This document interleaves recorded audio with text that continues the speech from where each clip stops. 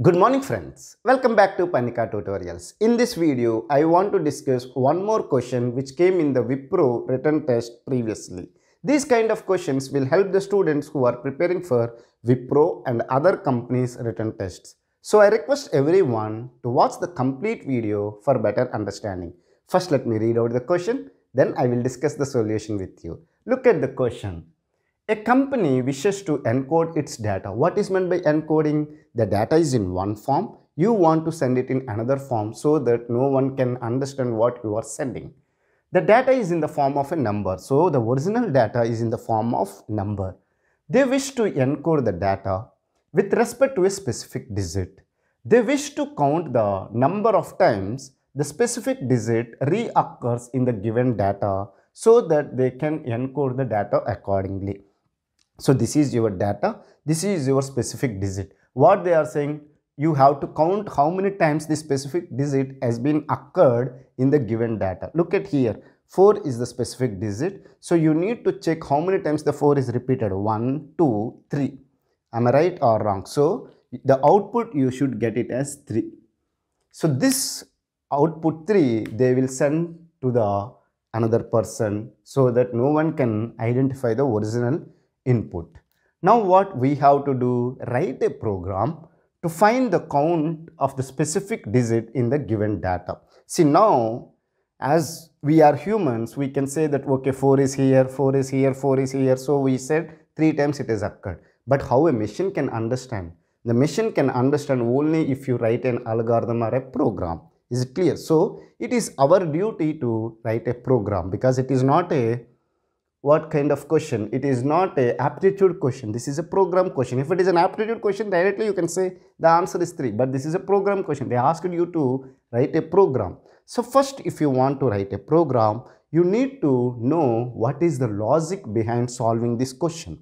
Once you identify the logic you can easily convert into a program and find finish your task and select in a Wipro company. Look at here. What is the task? Suppose let's take that 577 and the given digit is 7. Now they want to find how many times the 7 is been repeated. So what I will do is that I will write while n okay if this one I will store it in k and this one I will store it in n. So this is my input n which is 577 and this is the specific digit they have given which is stored in the variable k. So what I will do is that if k is equal to is equal to n modulus 10 then I need to increment the count. So what I will do, I will take some count variable. Initially, I will initialize it to 0.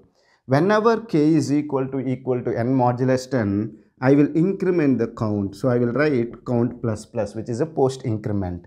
Then what I will do, n is equal to n divisible by 10. Look at here what will happen. Initially, n value is 577. Now, while n, if it is other than 0, then the condition will be true. If it is 0, the condition will be false. If the condition is true, these statements will be executed. So, as 577 is other than 0, this condition is true. If this condition is true, you can execute this statement. Again, this is a condition. If k is equal to n modulus 10, what is n 577? 577 modulus 10 modulus operator will always give you the remainder. 577 modulus 10 will get the remainder as 7. Now k is what 7? 7 is equal to 7? Yes. If this condition is true, you can execute the statement count plus plus. Count is initially having value 0, 0 plus plus, you will get 1. Is it clear? Then what you have to do, n is equal to n divided by 10. Division operator will give you the quotient. 577 by 10, you will get the quotient as 57. Is it clear? Now again you will check the condition. Okay, while n. n is 57, it is other than 0. So the condition is true. If the condition is true, again we have to execute the statements. If k is equal to is equal to n modulus 10. What is 57? 57 modulus 10 will get you the remainder as 7. And k is also 7. 7 is equal to 7. This condition is true. If this condition is true, you have to execute the statement count plus plus.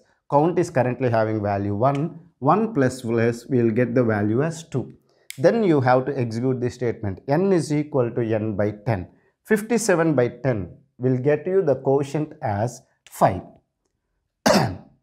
so now the n value becomes 5 again while n 5 is other than 0 so again the condition is true. If the condition is true we have to execute the statements. If k is equal to n modulus 10 5 modulus 10 will give you the remainder as 5 and k is having the value 7 7 is not equal to 5 so this condition is failed. If this condition is failed you cannot execute the statement directly you will execute the statement. If this condition is true you will execute this one and you will execute this one. If this condition is false directly you will execute the statement.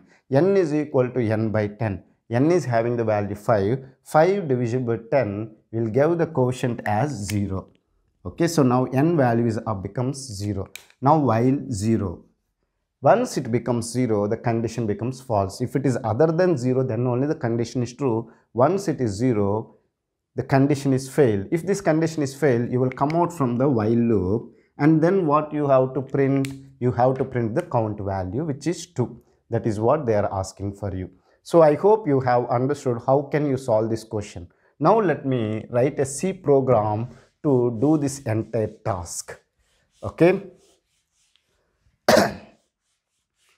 So if I want to write a C program, first I need to include the header files.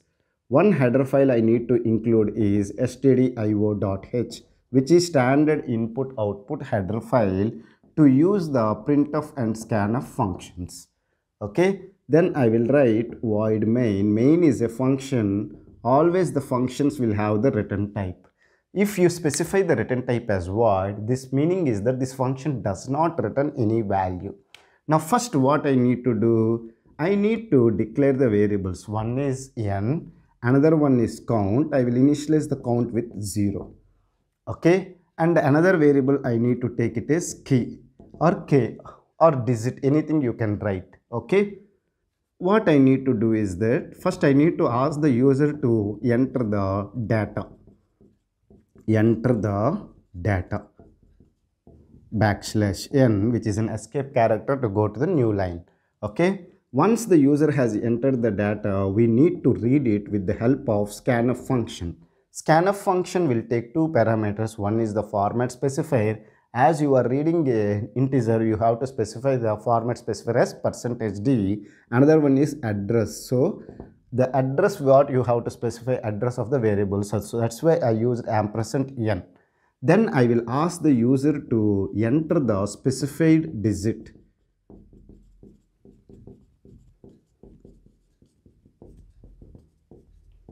Enter the specified digit backslash n I'm writing.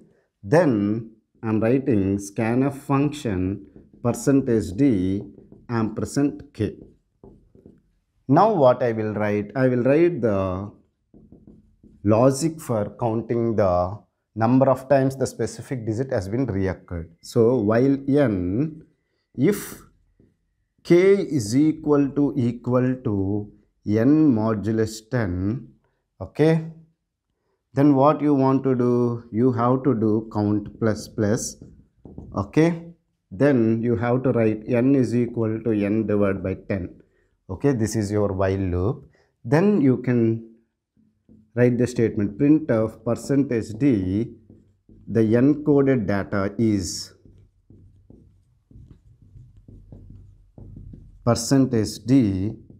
You can display the count okay then you can write the getch and you can close the main function this is the way you have to write the program now let me discuss this program with a simple example to do that one, I need some space. So let me erase this content so that I can use this space to explain the program for you. Let me take the input as, okay, some number we will take 9, 6, 9, 7, 8. Okay, is it clear? Now the specified digit is k is having 9.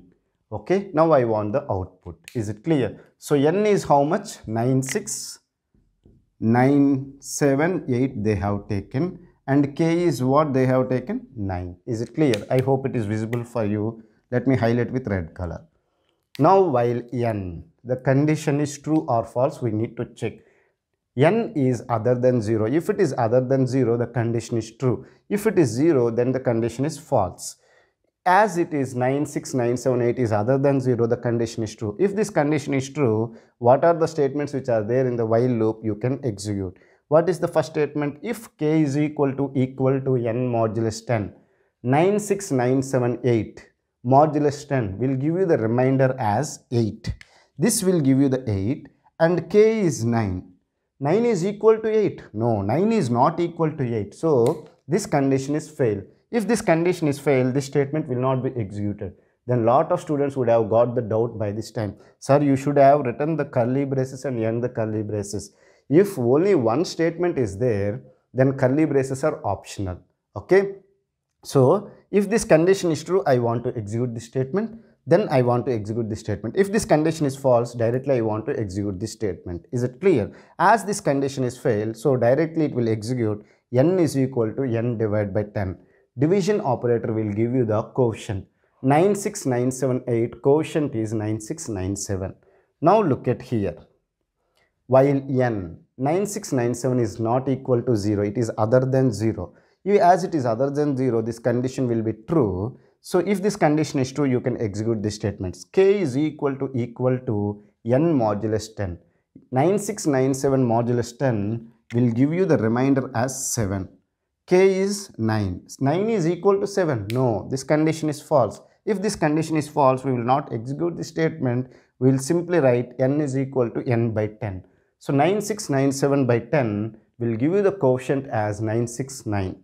969 is other than 0. Again the condition is true. So you will execute the statement. k is equal to equal to n modulus 10.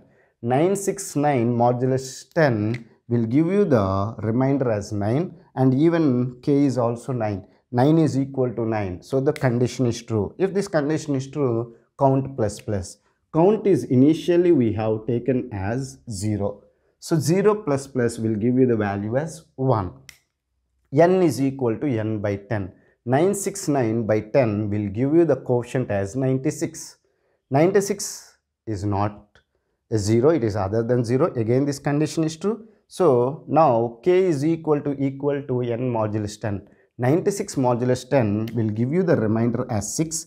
k is 9. 9 is not equal to 6. So this condition is false. You will execute the n is equal to n by 10. 96 by 10 will give you the quotient as 9. While 9 it is other than 0. The condition is true. So what you will do? You will check this condition. If k is equal to equal to n modulus 10 9 modulus 10 will give you the remainder as 9. 9 is equal to 9? Yes, the condition is true. If this condition is true, count plus plus. Count value is 1. 1 plus plus will give you the value as 2. Now, n is equal to n by 10. 9 by 10 will give you the quotient as 0. Is it clear? Now, look at this one. While n, n is 0. As it is 0, the condition is false. Is it clear? If you cannot understand like this, you can write it as n not equal to 0 also. Is it clear? Both are same only. So, n is 0, so the condition is false. If the condition is false, it will come out from the while loop. It will execute this statement. Printf, the encoded data is percentage %d count. What is the count value? 2. That is the meaning now. We have taken 96978. The specified digit is 9. How many times it has been reoccurred? two times. So that is what they want the output. Is it clear? So this is the way you have to solve this question. I hope you have understood how I solve this question. If you still have any doubts related to this question or related to the concepts what I have discussed in this video, feel free to ask me in the comment section. I will try to clear your doubts as early as possible. Thank you for watching the complete video. Have a nice day.